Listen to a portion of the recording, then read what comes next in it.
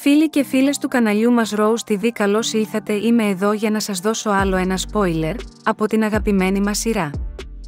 Σε μεγάλο κίνδυνο θα βρεθούν ο Στάθης και η Ιουλία, καθώς η Χρυσούλα θα αρχίσει να ανοίγει ξανά επικίνδυνα το στόμα της δεξιά και αριστερά. Ο Στάθης να βρίσκει αφορμές για να την πλησιάζει. Το μόνο που τη ζητά, είναι να του πει το μεγάλο ναι για να είναι ξανά μαζί. Μία τυχαία συνάντησή του στο δρόμο, θα σταθεί η αφορμή για να ξεσπάσει ένας νέος πόλεμος. Ο Στάθης θα προσεγγίσει γλυκά την Ιουλία και θα κάνει μία μεγάλη συζήτηση μαζί της, αγνοώντας πως πίσω τους βρίσκεται η Χρυσούλα, η μεγαλύτερη κουτσομπόλα της Μάνης. Η Χρυσούλα θα φροντίσει να μάθει πρώτα για αυτή την επανασύνδεση η αρετή. Στόχος της είναι να την κάνει να πονέσει, να την κάνει να καταλάβει πως ο αγαπημένος της Στάθης επέστρεψε στην πρώην του.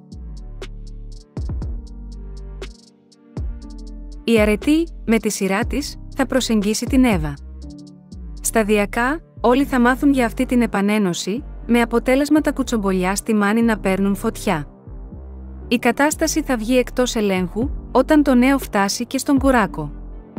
Η Χρυσούλα θα καταφέρει να φέρει σε φρικτή θέση την Ιουλία και τον Στάθη θα καταφέρουν να μείνουν μακριά από την ίντριγκα που δημιουργείται στη Μάνη, φίλοι και φίλες, οι εξελίξεις τρέχουν στις αγαπημένες μας σειρές. Αν μας βλέπετε για πρώτη φορά, κάντε εγγραφή στο κανάλι μας, ενεργοποιήστε και τις ειδοποιήσεις με το καμπανάκι, για να μην χάνετε τα επόμενα spoilers που θα ανεβάζουμε στο κανάλι.